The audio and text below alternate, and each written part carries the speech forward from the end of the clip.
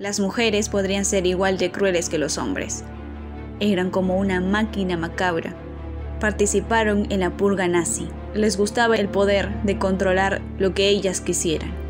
Ellas ya eran cómplices. No mostraban compasión por nada.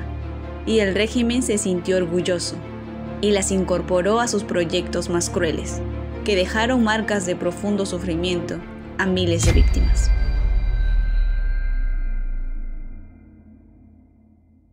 Las mujeres fueron importantes para Hitler y para el partido nazi, ya que ellas fueron las que se encargaron de que ganase las elecciones del 15 de marzo de 1933.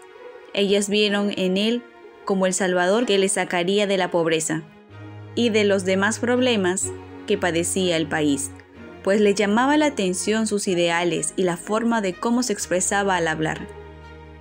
Por su lado, Hitler siempre recalcaba la importancia de la mujer. Era como la célula madre del Estado. Tenía un papel importante en la sociedad. El fanatismo de aquellas mujeres, Hitler pudo sacar provecho y fueron pieza clave para todos sus objetivos y planes siniestros. 20 millones de mujeres fueron partícipes de las atrocidades de Hitler. Y aquí te contaré las situaciones que ellas fueron partícipes.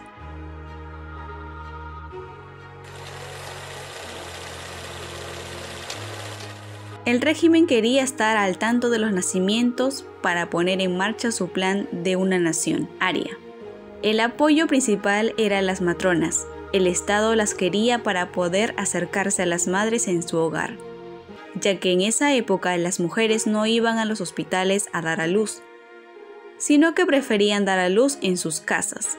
Las matronas se convirtieron en personas confiables e importantes para el régimen nazi, así que las incluyó en el sistema sanitario del Estado, en donde ejercieron un valor importante, pues tenían que redactar informes de nacimientos y denunciar casos de recién nacidos con malformaciones, Además, recibían dinero por cada bebé que denunciaban. Aunque fuese simple labio leporino, ellas lo comunicaban a los servicios sanitarios. Aquellas listas redactadas por las matronas, ellos se encargaban de decidir el futuro de aquellas madres y bebés. ¿Y por qué a las madres te debes estar preguntando? Pues según la lógica del régimen era que si el niño nacía con algún defecto, pues la descendencia de la madre seguirá siendo así, incluso también eran denunciados los padres de los bebés. Se realizó una esterilización masiva alrededor de 100.000 hombres y 200 mujeres. Esas personas fueron esterilizadas de manera forzosa y lo que les pasaba a los bebés, pues su estimación de tiempo de vida apenas era un día. El régimen no le bastó la esterilización Así que en el año 1934 decidió realizar una especie de purga a cierta parte de la población, que no se ajustase al ideal nazi. El régimen se basó en su teoría de higiene racial, pues se basaba en la idea de erradicar todas las enfermedades hereditarias comenzando con las personas que tuviesen alguna enfermedad, incluyendo a los que ya habían venido al mundo pensaban que era la única manera en que las enfermedades no se transmitirían a las nuevas generaciones. Entonces Hitler autorizó la purga llamada Action T4. Se basaba en la eutanasia para la abolición de las personas que no cumplían los requisitos de la raza alemana, especialmente aquellos con discapacidades físicas o mentales. A comienzos del año 1940, un grupo médico que fue cuidadosamente seleccionado fueron convocados por la Cancillería para informarles del siniestro proyecto. Entre los médicos también se encontraban enfermeras, quienes serían las encargadas de eliminar a los que el régimen consideraba indignos. Para ese trabajo se necesitaba ser voluntarias. Entonces esas enfermeras que participaron en ese siniestro proyecto no fueron obligadas y ninguna de ellas objetó. Estas enfermeras también tenían otro trabajo, que era dividir en dos partes a los pacientes a quienes los nombraron como pacientes superiores e inferiores. Los superiores eran pacientes que podían curarse con tratamiento y los inferiores eran una carga para la sociedad. El régimen nazi para este proyecto necesitaba más enfermeras, así que formó a 600.000 de ellas con esos principios. El proyecto T4 llevó en lugares secretos del territorio alemán y se tenía que realizar de la siguiente manera. Las víctimas tenían que ser llevadas del hospital a los campos de exterminio y que su destino final era llevarlos a las cámaras de gas. Iban a ser los primeros en ingresar a esa habitación infernal. Y para este proceso las enfermeras eran esenciales para efectuar la depuración masiva pues tal cual como se explicó anteriormente, tenían que llevar a los enfermos desde los hospitales hasta los campos de exterminio. Les ayudaban a desnudarse, los tranquilizaban y los llevaban hasta el interior de la cámara de gas. A partir de 1941, los métodos de este siniestro proyecto fueron cambiados. Los discapacitados de todos los hospitales psiquiátricos del régimen fueron erradicados con dos métodos. Los dejaban de hambre o les aplicaban sobredosis de medicamentos. Las enfermeras no tomaban la decisión del destino de los pacientes, ya que solo describían el estado de salud de ellos y en función de la información que ellas mismas transmitían, los médicos decidían sobre el destino de los pacientes. Ellas obedecían y realizaban el trabajo sucio.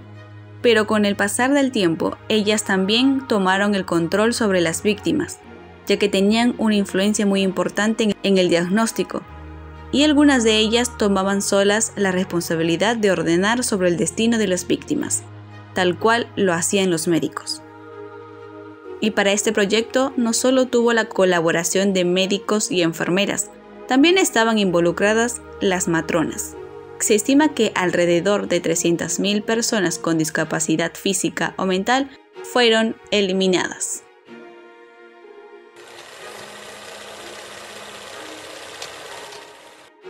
Alemania derrotó a Polonia y el Führer extendió las fronteras de su país. Hitler quería germanizar y poblar sus nuevos territorios, así que decidió instalar a la gente de Rumanía, países bálticos y Ucrania en sus nuevos territorios. La mayoría ni siquiera hablaba alemán, pero para la ideología nazi con su ascendencia aria era suficiente.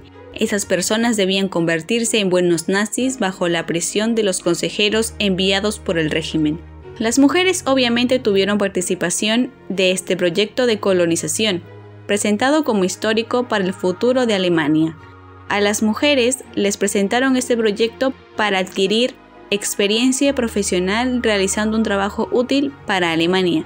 Les dijeron que era la oportunidad de demostrar su valor y poner su talento al servicio de la colonización. Ellas por su parte vieron una tentadora propuesta. La convocatoria que realizó el régimen tuvo mucho éxito, ya que más de 50.000 mujeres respondieron a la convocatoria, pues para aquellas mujeres era un honor conquistar ese territorio para su pueblo y su cultura. Para ellas era una gran aventura vivir esa experiencia. Por otro lado, mientras ellas vivían la aventura, 100.000 polacos fueron expulsados violentamente de sus casas. La misión para esas mujeres era preparar la llegada de los nuevos colonos e instalarse en las casas que habían sido arrebatadas a los polacos. Las jóvenes colonizadoras modificaron los pueblos polacos y judíos en pueblos alemanes. También fueron partícipes en la confiscación de ropa y mueblaje que se distribuyó entre los recién llegados. La población local tuvo que ponerse al servicio de los nuevos dueños del lugar. La gente de los pueblos polacos y judíos fueron enviados a vivir en cabañas a las afueras de sus pueblos. El régimen nazi tenía un temor, pues corrían el riesgo de que sus conquistadoras les ablandara el corazón, así que creó nuevas propagandas en las cuales decían que debían manejar sus sentimientos, pensando en la finalidad de la misión, que era el brillante futuro de Alemania.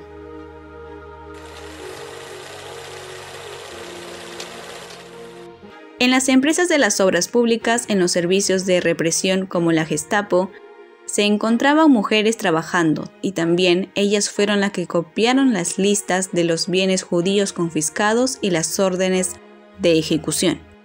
Las más ágiles incluso confiscaron documentos impactantes como el informe de la exterminación de judíos, bálticos y rusos que tenían los alemanes en su poder. Aunque parezca mentira, estas mujeres estaban al pendiente de todo y por si fuera poco, también decidían si vivían o no algunos prisioneros. El día de las ejecuciones les daban más informes. Si había 100 informes y había que sacar del medio a 50 personas, las secretarias escogían los informes al azar y a veces decidían agregar otro informe más, así que ya no eran solo 50, sino 100. Ellas participaban en la purga nazi que destruyeron a millones. Además, las mujeres que se encontraban en el servicio de trabajo del Führer mandaban a obreros a trabajos forzosos y en condiciones terribles que muchos fallecían. Estas mujeres formaban parte de una máquina destructora. Ellas ya eran cómplices y el régimen para incorporar a todas las mujeres en su empresa de la crueldad, incorporaron hasta las que no tenían función oficial en el aparato del Estado, que eran las esposas SS, también desempeñaron un papel, que era ayudar a sus esposos a convertirse en máquinas destructoras. Estas máquinas destructoras eran las tropas de la SS, del Tercer Reich.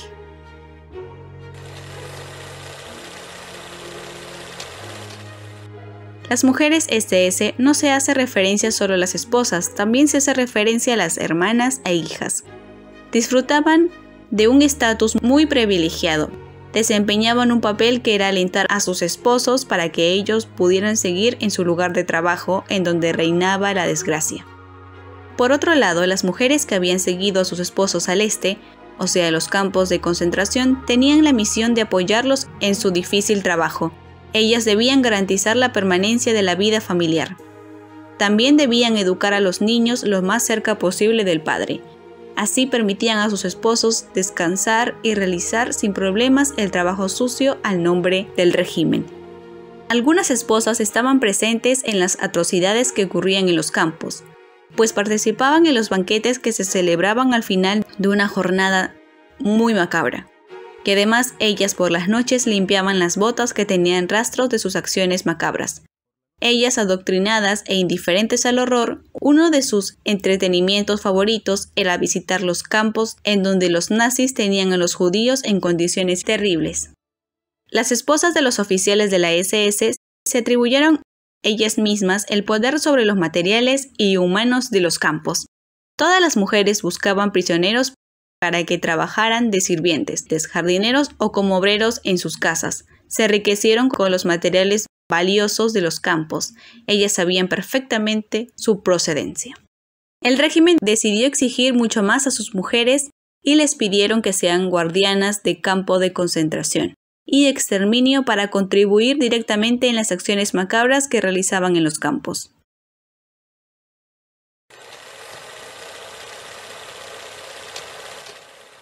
Aunque parezca increíble, el trabajo de guardiana en los campos tuvo una alta demanda debido a que el régimen decidió convertir los campos en carteles de esclavos para la industria alemana, así que necesitaban guardianas. A esas mujeres se les daban casas y pasaron a ser funcionarias del Estado. Ganaban un buen sueldo, tenían seguro médico y tendrían pensión de jubilación. Ese trabajo suponía un ascenso social, llevaban uniforme y pertenecían al auxiliar de la SS. Todas las guardianas empezaban en el campo de concentración, solo para mujeres en Ravensbrück.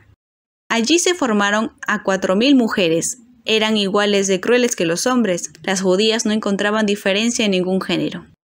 Las prisioneras también trabajaban en obras de construcción. A veces para apresurar el ritmo, estas guardianas demostraban una crueldad extrema. Ellas podían decidir si vivían o no. Esas mujeres contribuyeron con la desaparición de millones de mujeres en los campos de concentración nazi. Ellas, al igual que los hombres, son culpables de crímenes contra la humanidad. Sin embargo, después de la guerra, muy pocas fueron llevadas a un juzgado. Obviamente, ellas se declararon no culpables e intentaron minimizar la función que tuvieron. Otras decían que solo habían hecho el trabajo de vigilar a las prisioneras. Otras tuvieron una condena aún más terrible. La justicia de los aliados también se ocupó de las enfermeras. Muchas gracias por vernos. Si te gustó el video, por favor dale like y suscríbete para que no te pierdas ningún video que iremos subiendo cada semana. Nos vemos hasta un próximo video.